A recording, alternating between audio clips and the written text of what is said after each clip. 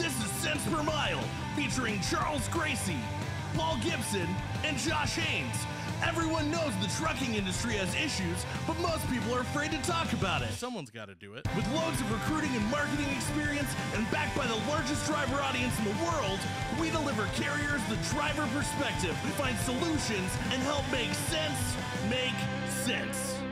Welcome to Sense Per Mile. I'm your host, Charles Gracie. And I'm your co host, Paul Gibson. Hey, I'm Josh Haynes. Guys, what are we talking about today? We're talking about the Driver's Bill of Rights and Truck Drivers Appreciation Week. Yep, it is Truck Drivers Appreciation Week. And a long time ago, uh, CDL Life wrote an article uh, theoretically laying out what a driver's Bill of Rights would look like if they could actually get legal help in the government to actually make regulations that actually help truck drivers instead of making their, their jobs harder. Um, and they actually updated it in 2019. Um, and we're going to kind of go over each of those today to see what that looks like uh, because we appreciate truck drivers and we're constantly talking about how regulations should help them. But you can also help us uh, because we're uh, we're all over iHeartRadio, Amazon Music, Spotify, wherever you get your podcasts. Plus, we're on YouTube. So if you could like, subscribe, rate, whatever you do on the platform where uh, you take this in at, that would help us out quite a bit because it'll help push us out further. You can also go to sensepermilepodcast.com where you can suggest a topic to be a guest or even to become a sponsor. Sponsors. Who's our sponsor today, Charles? We got Mesilla Valley Transportation, where you can help move America forward with MVT by going to m-v-t.com. Yep, and also uh, there is a link that you can access. Uh, so coming up is F3 FreightWaves Future of Freight Festival. Whew, that's a mouthful. Um, but there's a link where you can get a substantial discount, and it's through us. And so you basically get a huge discount because you know some guys. Um, and it is confirmed. Uh, we will all three be there. So uh, let's party. It's going to be a good time, and you don't want to miss it. And it's in Chattanooga.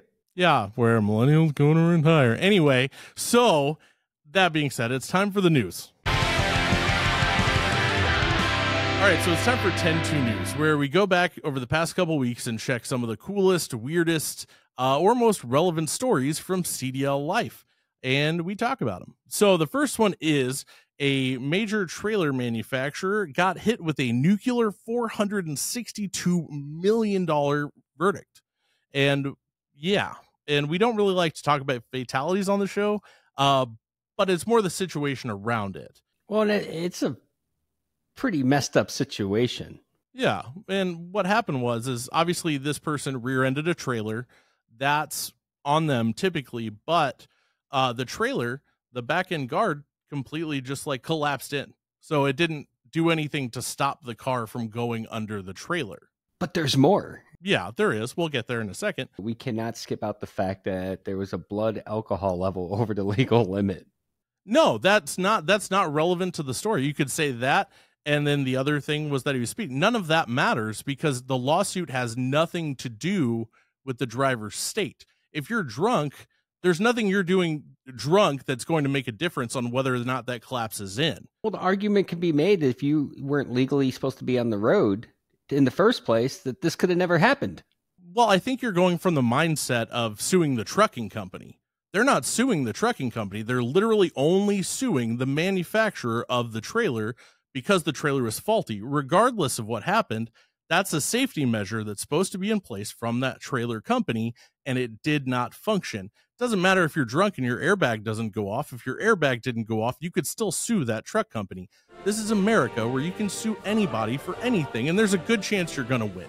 And this is why we sit in the situation we do as an industry where we're rolling lottery tickets and the, now even the trailer manufacturers and, and they it shouldn't be faulty but that that's the problem but i think I don't know of correlation and causation. I don't know what it is the situation, but a few days later, that same trailer manufacturer uh got another lawsuit that they lost for discrimination. So there is the new Pregnant Workers Fairness Act and essentially they had this employee who was pregnant and uh, she tried to get moved to a different position uh, where she didn't have to work on her stomach and they basically told her no Um, so she went all the way to eight months pregnant, having to work on her stomach, and then finally just chose to resign at eight months because she was worried about the health of her pregnancy. Um, I don't know if there if there's any correlation, but I mean, there was a seven month pregnant lady working on trailers at the same company where the trailers didn't work out because the company wouldn't give the lady a different job. Sounds like you're going to have to do some detective work here, Paul. Yeah, we'll see. Anyway, so it is time to go behind the wheel. All right, so it's time for Behind the Wheel. So, being powered by CDL Life, uh, with the largest audience of truck drivers in the world, we can ask them questions, get real opinions from real drivers about real issues. Uh, and so it's Truck Driver Appreciation Week. Um, and we decided to just ask bluntly, as a driver, do you care about Driver Appreciation Week? Uh, and 32% said yes, but also 68% said no. And then out of all the comments, no one who had a positive view of Truck Driver Appreciation Week actually left a comment. I mean, can you blame them though? Most of the Truck Driver Appreciation Week is a bulk message coming across at Qualcomm, a couple social media posts of mechanics and office staff eating barbecue, and you're out there saying, Well, this is all for me, but I'm not getting to enjoy any of it. But thanks for the bulk message. It was very personable. Yeah, well, I mean, most of them didn't even mention that. Most of them did mention the food. And like one driver, which I think was interesting, you know, because we we always point out the fact that like, oh, not everybody can get to the terminal for the food, so it's always the office workers. His argument was, I'm not going to lose money for a hot dog. I mean, what if it's a really good hot dog? Like I'm in, I'm in San Antonio and they got crispy hot dogs. I didn't know that was a thing, but it is. It might be that's pretty interesting. I don't think I've ever had a crispy hot dog. Me neither until here. But we had RaceTrac on last week, pilot. There's so many truck stops that would take so much less time that are giving away hot dogs. Yeah, that, and coffee. That checks out. So, uh, but it is interesting to talk to actual drivers and the fact that they are, um, for the most part, just kind of jaded on the whole thing. Um, a lot of them talked about like, oh, I'm going to get off the road for pizza um, you know, or like that kind of thing, that it's not really anything of substance. And the majority of them did say uh, something the extent of of pay me, and that will show you my or that will show me your appreciation. And I think the more we talk about it, the more that's going to come up. But uh, it's time to go behind the desk with Tenstreet. All right, it's time to go behind the desk. And today we have Marla with Tenstreet. Thanks for having me. Did you know that nearly 70% of truck drivers feel that their rights are often overlooked and undervalued? That number really hits home for me, having been in the driver's seat myself. It shows just how important it is for drivers to have clear and accessible rights and resources. One of the ways we're addressing this at Tenstreet is through the Driver Pulse app. The app empowers drivers by giving them the ability to manage their driving careers directly from their cell phones. The Driver Pulse app provides drivers with transparency by providing them a direct line of communication with their companies and potential employers and giving them access to all the crucial information they need. It's all about making sure drivers feel informed and supported in their roles. And since it's Driver Appreciation Week, we're also excited to highlight our special National Truck Driver Appreciation Week sweepstakes. By engaging daily with Driver Pulse, drivers not only stay connected, but they also have a chance to win up to $500 in e gift cards from major retailers like Walmart, Amazon, Home Depot, and many more. Our goal is to help drivers feel valued and heard every day of the year. Thanks for having me, and let's continue to support and appreciate our incredible drivers. We're excited to announce CDL Connect sessions powered by CDL Life. Eight exciting webinars packed with insights and innovative strategies to revolutionize the way you connect with drivers. Join us on Thursday, September 19th for our next session Optimizing Data and Processes for Recruitment Success with Nick Shopler, Chief Operating Officer of CDL Life, Discover how to optimize your recruitment data and processes for greater success. Click the link in the description to register and browse future sessions. All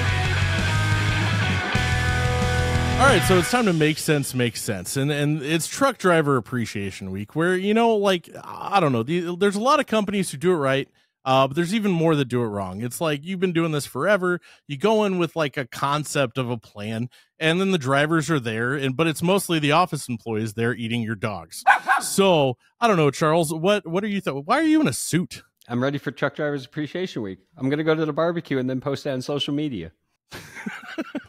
All right. Well, anyway, so it's Truck Drivers Appreciation Week. We've talked about that enough. What we're really talking about is this article, like I said earlier, that CDL Life had put out uh, a long time ago, and it's essentially a Bill of Rights. So you know, um, the ten amendments that should be no brainers the drivers should have, uh, and that they should be entitled to, even if they're not currently. Well, and the fact that we got to put them into a Bill of Rights. I mean, like we're going to go through these, and some of them are comical that we even have to write them down. 100%. So I guess uh, we've only got a limited amount of time before we bring on our guests, so we should probably get started. Right number one: treat me like a person, because that's a job perk, right? That's that was always like, oh, I used to say that all the time. You know, like, oh, I'm going to treat you with respect. Like, how terrible is that job if like being treated with respect is like a job perk? That means it's not understood to be normal. Well, I mean, that's like right number two. My voice, my vote counts.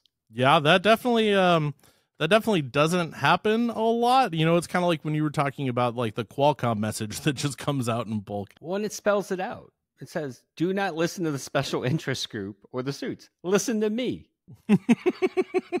it's crazy. Yeah, well, I mean, and, and that that comes down to lobby groups, and we talk about a specific one. We've kind of left it alone for a while, but yeah, I mean, you you have like we talked about a few episodes ago, insurance companies, lobbyist groups trying to make all these things happen, and uh, these companies have to listen to them because they're the ones mostly with the ears of the regulators and legislatures. Could you imagine if instead of putting drivers in mascot uniforms, the ATA put drivers in the lobby groups? I mean, I think that's called OOIDA. so, um, let's see. Number three is I should be paid for the time I work.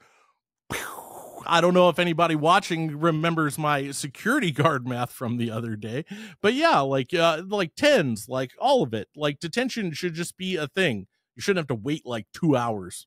Uh, any other job, if you're in, you're working, you're getting paid. But drivers, detention, first two hours, three hours, four hours, whatever someone deemed was appropriate, uh, whole nother discussion.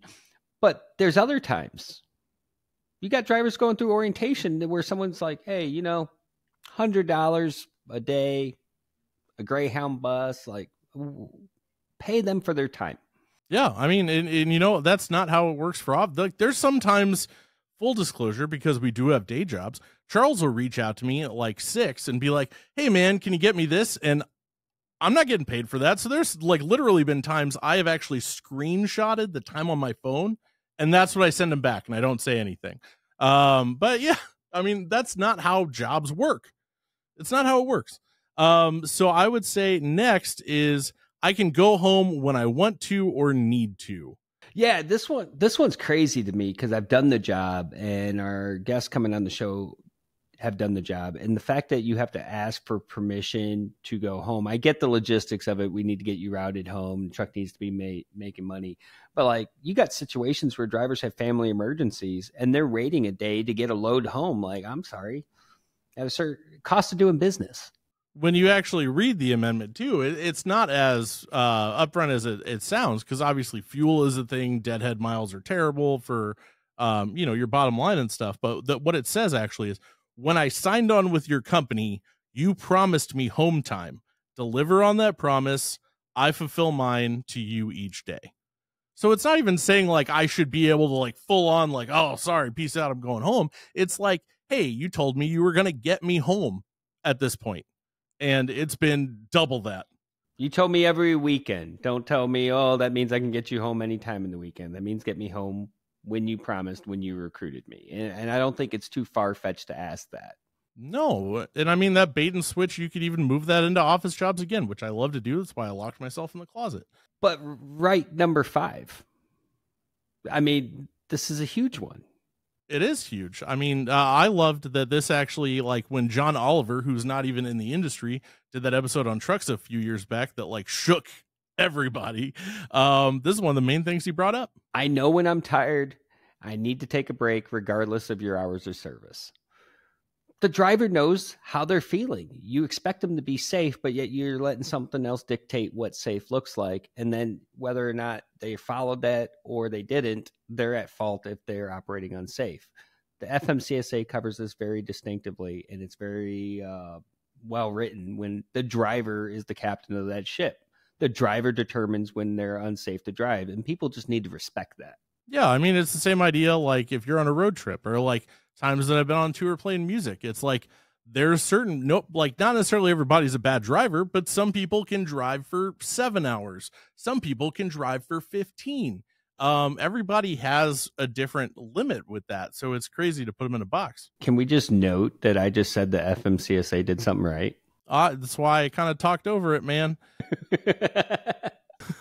but all right, so the next one is I have the right to a clean shower anytime I need one, and it should be inexpensive. It's not even asking for it to be free, just inexpensive. Yeah, it should be affordable, it should be reasonable, and it should be accessible. And the fact that, again, we have to put this on a bill or you got the bathroom access thing. I mean, this is nuts. It's ludicrous. Treat them like a human being. They're doing an important job. Right. And then a lot of people like complain. They're like, oh man, some of these truck drivers are smelly and they're terrible and stuff. I've gone to several terminals where like people have stories about how bad a driver smelled. It's like, what are you, what are you doing to help them with that issue? You know, it's like, sorry, that person runs hard and they don't really have the opportunity to take a shower. Right. Number eight.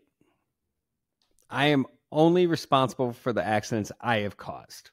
Mm, that's a good one. Yeah, I mean, because that, I mean, most drivers, like when you're processing them and stuff, like between that and insurance companies, preventable accidents all of a sudden become your problem. Like it makes it way harder to get hired. And I know there's several companies that won't hire you if you've had multiple non preventable accidents. One, it's crazy too, because if you look at how a truck is operated, and you understand its limitations. It cannot stop on a dime. And in most rear end situations, if a, a vehicle rear ends another one, they're immediately at fault. But what about all those people that cut off a semi truck when it's doing its job and it's operating safely and then slam on the brakes? In most of those cases, the driver's going to be at fault just by how things are written and how they're investigated. Uh, these are things where I think, you know, as much as we frown on technology, we're starting to see the technology catch up a little bit and exonerate drivers from situations like that. Those dash cams have been huge on this. All right, so I am entitled to good, healthy food options while I'm on the road is number nine. Yeah, man. I mean, especially like the the strictness of like a lot of the different uh DOT physicals, which also can vary by doctor that you go to, which is also insane to me or chiropractor. it's true. Um, pop up. Uh, but yeah, it's it's kind of crazy that we don't set these people up to be healthy. Yeah. Well, I mean, McDonald's has lettuce and tomato and onion on their burgers. Right, but I, what I'm saying is, is we don't set them up to be healthy, but they're one of the only jobs where you have to be a certain level of healthy to do it. Like I know some people in some offices that are definitely would not pass a DOT physical. Well, and, and it's crazy because we talk about the driver shortage. And uh, this is one of the things that if we support our drivers and we give them the things that are necessary for them to be healthy, you don't have to lose them due to not being able to get a DOT physical. It's true, which kind of almost a little bit ties into right number 10. Truck stops are built for me, supported by me, and should cater to me. I don't hate that. No, I mean, again, you, there's there's a thing happening out there. It's been happening uh, and gaining momentum, and there's different arguments about truck stop parking. Should it be free with the amount of money drivers spend at the truck stops? Uh, paid parking, you're starting to see it move in and take up more of what drivers are considering, you know, areas that they could legitimately park for free in the past. But then there's the maintenance of those areas and making it a better experience for the driver. So I understand both sides to it. And uh, truck stops customer service. It, it, it shouldn't feel like you're walking into a detention facility. Like they're there to service you. You're spending money. You're a patron of that business. It should be more respected. Yeah, I mean, you're there. You're a truck driver at a truck stop. You know, you don't make all of your money off of people on road trips. Um, all right. Well, we've actually got a couple guests that can speak to a lot of this pretty well, and they'll be on right after the break. Mesilla Valley Transportation, founded by truck drivers for truck drivers. Why choose MVT? Well, it's simple. I started off as a driver. Now I'm managing routes. With MVT, the sky's the limit. Balance is key. State of the art equipment, a strong focus on safety, and a family driven company culture where respect and hard work are at the core. Mesilla Valley Transportation, where we care about you. Join our family today. We're back and we have our guest. I'm going to give a quick introduction. None of them are strangers to the show, but we got Justin Martin, Gord, and Lumbard joining us on the sense per mile to talk drivers' rights, Truck Drivers Appreciation Week. Time to shoot the shit and have a good time, gentlemen. Thanks for having me. Glad to be here, as always. What's that smell? the barbecue that drivers aren't making. uh, no, hey, so we're let's start with the drivers' rights. You know, we went over earlier in the show. We went over the driver's bill of rights. You know, things like, hey, respect shouldn't be a job perk but yet how many ads do you see out there where we treat you with respect? You should treat everyone with respect. I mean you guys have driven i've driven. We've definitely all encountered our situations where you didn't get that respect. How how's that resonate with you justin? Um, just going down that list not a lot that i would disagree with except maybe the order in which it's in. You know the, the like number one treat me like a person. It's a little vague. Uh, if you take number three i should be t- paid for my time that I work, put that to number one, that pretty much takes care of half the list right there. Now, Gord, you know, you you've done the job. When we talk about driver pay, I know that's something you've had many conversations on. Uh, what's some of the most notable things that you think we can improve upon that would make drivers want to be in trucking? Because right now it's not pretty sexy.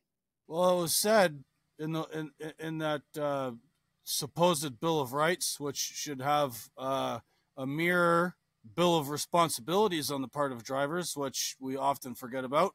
I could go on about that at length. But yeah, um, pay. That's it. Every single minute you're at work, you should be being compensated. Uh, this nonsense of, well, you know, we're too busy. We can't get you unloaded for six hours, or oh shoot we sent you the wrong pickup number and we got to call this other guy and he's gone and then you don't get an answer for two hours and you're waiting for dispatch. You know a, a, lot of that stuff that's out of the driver's control and is not mechanically related or some breakdown or act of god should be absolutely compensated and whoever's involved in the load the broker the company the customer up to them to figure it out. Just it shouldn't even be a question. You get paid. You're at work you get paid. Done it's crazy concept. I'm doing work for you, progressing your operation. I just want to get paid. That's it. Uh, one of the one of the things that were listed on there is having the necessary uh, ability to get healthy food options and stay remain healthy. You know, Lumbard, that is a passion of yours. I, I imagine you're a huge advocate for companies being responsible for making sure that these things are available to their drivers. Yeah, I'm really pumped you brought that up because that it, that's become my whole mission is about like I use the phrase often to change the environment and change the culture regarding health and overall fitness in the trucking industry. And I always lead it with change the environment because, uh, as I've mentioned the stats on the show, when you look at the obesity rates, the chronic disease rates, and what the status quo is, just what the current environment is, for those numbers to be what they are, it means that that's what the environment, current status quo environment delivers. Like that's how it's set up from the educational standpoint, from the carriers, from, from employee development. So you have to think about it being a driver, like a driver, especially a company guy, is an employee. And other companies have what's called employee development along the way. And when you don't have it ingrained in the culture from the company level, then I mean, you're not going to see it in the rest of the industry. I mean, that should be. I was actually just at the Ambest conference in San Antonio a couple weeks ago, talking about this, and I've had this discussion because, as you know, I work with you know the the better for you option out there of, of super coffee, like a healthier energy drink out there with no added sugars. And you know the the uh, yeah brief brief plug. But the thing is and i was talking about this on my show recently you know when it comes to changing this environment and when it comes to healthier options for guys putting healthier options out there it means taking something away. It means taking something away that um, is possibly making other people money. And when it comes to doing that when it comes to the trade-off of taking unhealthy options out of you know the driver's environment and replacing it with the better options people may lose money but the end result is you're going to save lives. And you know i think we were kind of jumping around on this in twitter earlier with gordon and i with a tweet from our friend rust belt kid you know just because something is cheaper and uh, you know more readily available doesn't make it automatically better for consumers or for the environment if something's killing you is it is, it, yeah, if it's if it's killing the driver, if if the if what's being offered to the driver essentially leads them to an earlier death, is it is it for their best interests? Is it is it in their well being and how they should be, you know, conducting themselves regularly? I mean, that's that's the biggest thing out out there is when I talk to drivers, they will always mention the options, the lack thereof the options. Any drive you can pull any random driver on the show, and they're going to say there's just nothing that great out here. Nothing accessible to a semi truck. Exactly. And I mean, all right, let, let's dissect that because driver parks a truck. All right, well, you can go anywhere once that truck's parked. Well, can you? I mean, yeah, we live in the day of Uber, but with the wages where they're at, drivers forfeiting two hours on each end of their trip for free.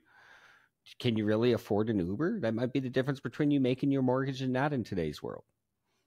And if you're doing that on every stop, the, the ELD kind of gets in the way of that like uh, you know you, with with your time being so regulated you're you're you're you're kind of then you got some dispatcher hitting you up like hey you took an extra 20 minute well yeah i was waiting for my uber and i wanted to get a healthy lunch. That's not going to fly. We already know. And anyone out there saying that's going to be okay let a driver do that for a while and see how the productivity gets measured on that truck. I mean it, it's just one of those things where systemically it's broken. The whole system's broken. Uh, the fact that respect is listed as a job perk. The fact that we have to talk about a bill going through Congress to get bathroom access, uh, healthy food options, the whole thing's broken. So if you guys had to pluck one thing, and I'm going to go around the each, if you had to pluck one thing that you think would make the most dramatic impact, uh, penalizing shippers and receivers that waste drivers' time. I mean, that's it, everything boils down to that because motivate them with money. Exactly. You know, it, whether you're on the company side of the or the owner operator side, as soon as somebody tries to put their foot down, it doesn't matter for the shippers or receivers because there's going to be 20 companies behind them that's more than happy to take that spot. I think that's huge because if you're penalizing them with money, which drives the world, then there's be some motivation to get those trucks in and out of there so these people can further their themselves down the path to wherever they're going and possibly the truck would make more money. I think it would be an incentive for carriers to want that. The, the the cost of something is how much you care about it. And if you're trying to run everything as cheap as possible, that just means you don't care. Well, they're focused on customer service and they're not focused on the customer service or the experience of the driver, which then drives it to the situation that we're in now where you're in a no-win scenario. Lumbard, if you had to pick one thing that you thought would make the most impact in trucking, what would it be? Uh, yeah, it's hard because I mean, the, in this article and in this list of Bill of Rights, which is a really well written piece, uh, you know, it's it's it's tough to pick one, but uh, I really and I know this is kind of like the the lower hanging fruit, but I really I really think it boils down to I should be for the paid for the time I work. I mean, in other professions that require uh, professionals to be traveling outside of you know the where their where their domicile is. Um, I mean, that's a you know th- there's you, a company is paying for that. Like when your labor requires you to leave where you live, where you're not going home every day. I mean that like as the labor, like if you're that person doing that job where you're not going home to the, where you pay rent or pay a mortgage, if you're if you're not going home to that residence, there's there's value in that. The fact that you as a company are you know you need to employ labor that's forced to not stay home then you know there there's fair compensation for that we you know they they have it for you know it works that way with with so many other industries And I think that's what it boils down to. Like the healthier option, like the truck stops being better for sure, the healthier options for sure. But it, it, at the end of the day, I think labor is going to respond to the incentive of of what the pay is. And that checks out. I, I'm on site with a client. I'm not here for free. You know, I want to be paid. Everyone wants to be paid. Yeah, I mean, it it it, it applies to what Justin and Mike said, and it sort of encompasses it all. But like, consider the human element. You know, truck drivers get treated like numbers and like machines, right?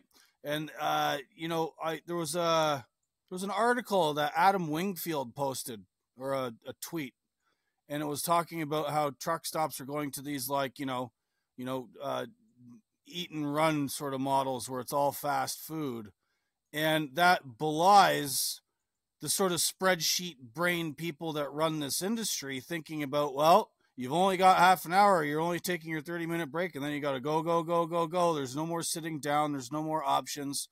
And that's all downstream of the fact that we've forgotten the human element. We don't think paying people for their time is important because we've forgotten the human element. We don't think uh, promoting a driver and, and uh, coaching him and making his career better, like Mike said, or his health, because we don't consider them human. We're not considering the human element. We just need to consider the human element more and stop treating truck drivers like an afterthought, like a cost, like a machine, like a line item, because at the end of the day, that's what causes all of these other problems. No, I think that's huge. So with that, I, I don't know if you, the audience, can catch the reoccurring theme.